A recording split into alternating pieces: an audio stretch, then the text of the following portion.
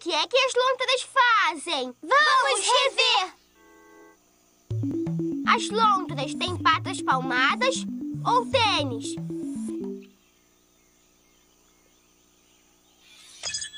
Elas têm patas palmadas. As lontras têm medo de borboleta ou de jacaré? De jacaré, isso!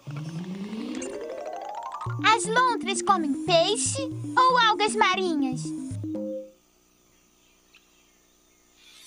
Peixe! Ei, quase completamos o quebra-cabeça! As lontras vivem perto da neve ou dos rios?